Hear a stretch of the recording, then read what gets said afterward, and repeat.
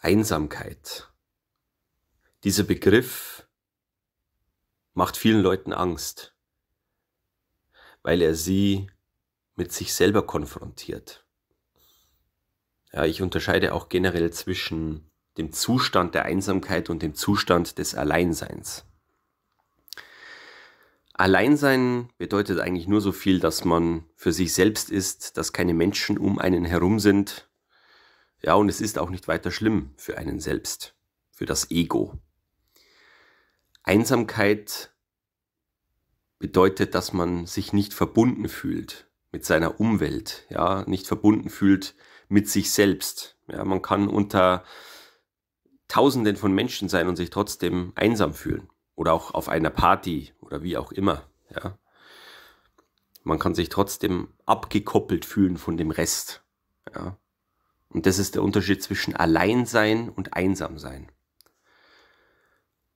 Und diese Einsamkeitsgefühle, diese innere Leere, die man glaubt wahrzunehmen, die man glaubt zu spüren, kommt eben aus dieser, aus dieser Trennung des eigenen Bewusstseins und der Umwelt, kann man sagen. Dass man sich sozusagen als Individuum fühlt, welches verloren ist in dieser Welt.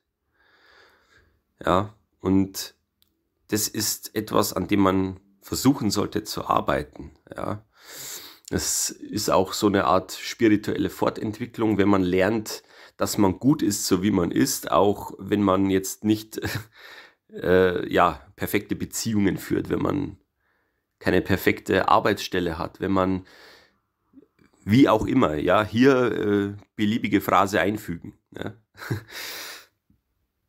wenn man lernt, dass man immer bei 100% steht, ja, und dass man sich selbst auch ein, ein sehr, sehr guter Freund sein kann,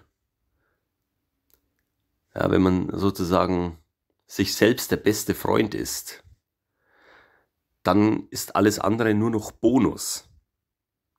Ja, und das ist etwas, worauf man auch, wie gesagt, versuchen sollte hinzuarbeiten, dass man einfach die Beziehung zu sich selbst stärkt, ja.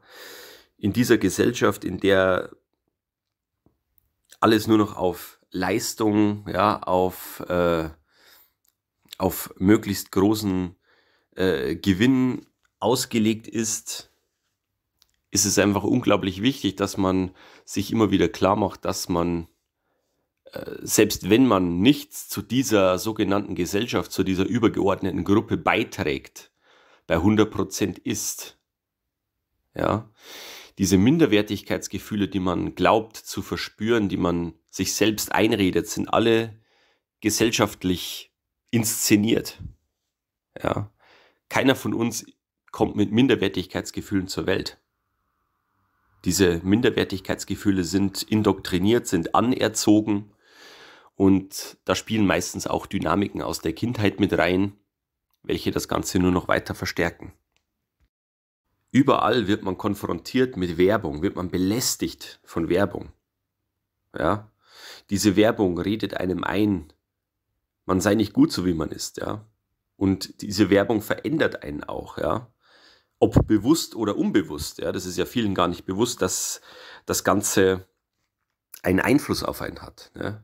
Man kann sich nicht umsonst viele Slogans, viele Werbesprüche merken. Ja? Die haben sich im Gedächtnis verankert. Und das nimmt, wie gesagt, bewusst oder unbewusst Einfluss auf das Leben, auf die Lebensführung, auf die Ziele, die man sich selbst setzt.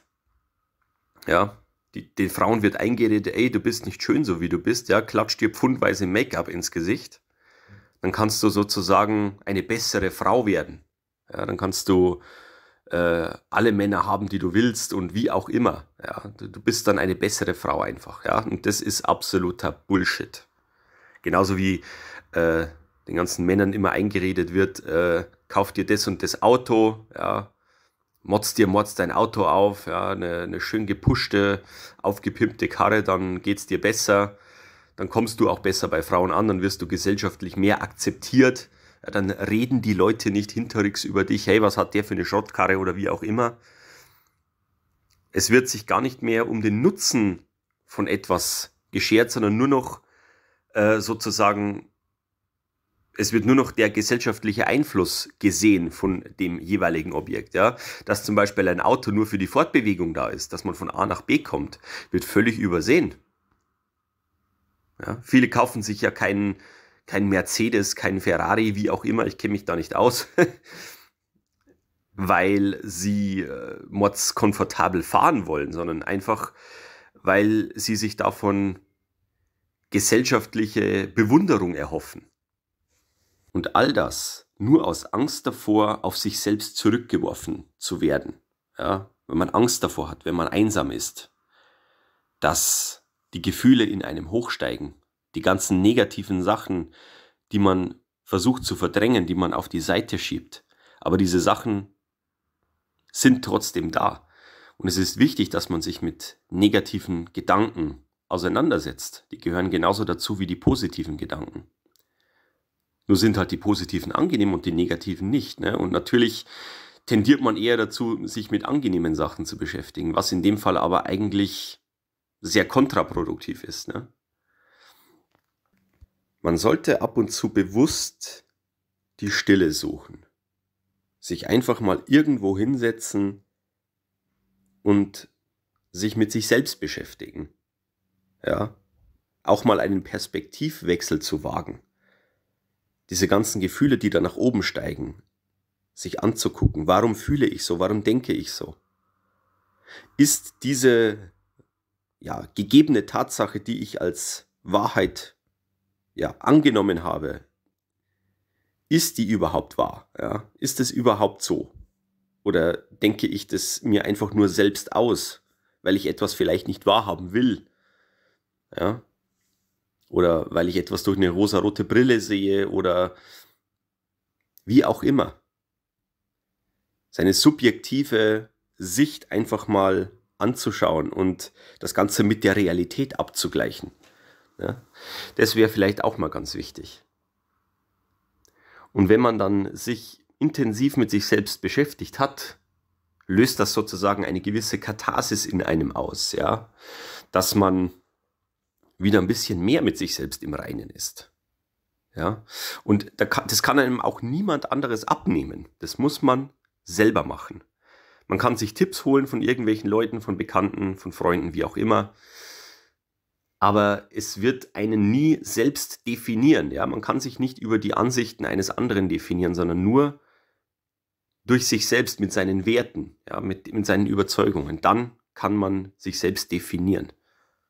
Viele definieren sich ja nur über die Verhaltensweisen von anderen oder über die Sichtweisen von anderen.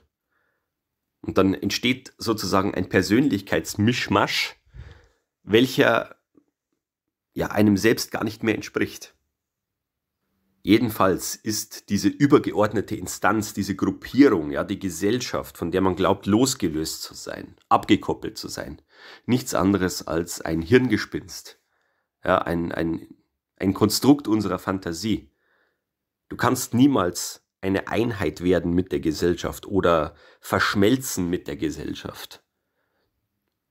Du wirst immer ein Individuum bleiben und das ist auch schön so. Ja, wir definieren uns über unsere individuellen Persönlichkeitsmerkmale. Ja, dieser Perfektionsdrang, dass wir irgendwie Teil von etwas werden wollen, das ist tief in der menschlichen Psyche verankert. Ja, das kommt noch aus der alten Zeit, ja, wo es noch ums Überleben ging. Und es ist wichtig, dass man diese Dynamiken halt so ein bisschen durchschauen kann oder dass man eben versucht, aus diesen Denkansätzen, ja, die man sich selbst erarbeitet, zu lernen. Ne?